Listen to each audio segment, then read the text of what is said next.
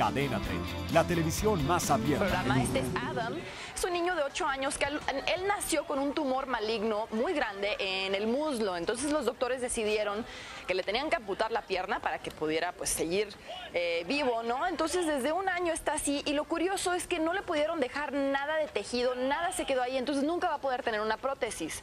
Pero este chamaquito, miren nada más con esta misma con esta misma actitud que lo estamos viendo jugar la posición de pitcher, como comentabas Paco, catcher. De catcher, perdón, de catcher.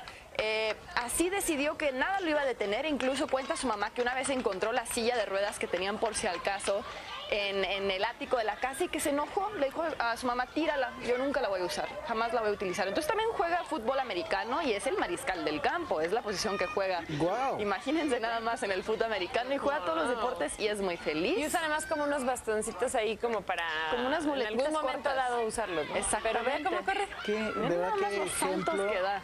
Qué hermosa nota, ¿eh? De verdad, qué ejemplo de vida, de superación, de entereza. Ve nada más eso. No, bueno. Es, es de admirar uno a veces. Te quejas de... Y mira cómo se barre. Lo amo, Y se cómo se barre, barre, Qué sí. maravilla qué bárbaro. La verdad que sí, una buena, una buena manera de comenzar este lunes y darnos cuenta, porque a veces todos necesitamos este recordatorio de que realmente tenemos, si tenemos la salud, tenemos todo lo que necesitamos para lograr cualquier meta, Eso, ¿eh? cualquier sueño. Nada nos Bloqueando detiene. perfectamente el home, qué barbaridad. Buen qué- jugador, ¿eh? Buen qué atleta.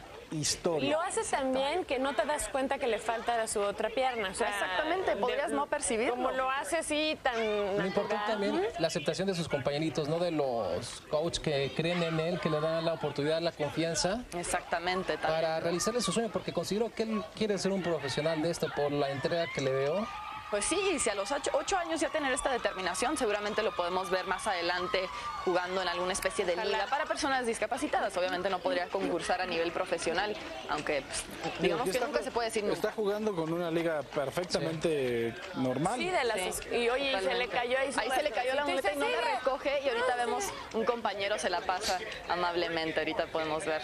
Sí, definitivamente la aceptación de sus, de sus amigos Claro. es importante. Bueno, a nuestro canal de YouTube para que siempre estés informado de las últimas noticias de México y el mundo. Empieza ahora mismo dándole clic a estos videos.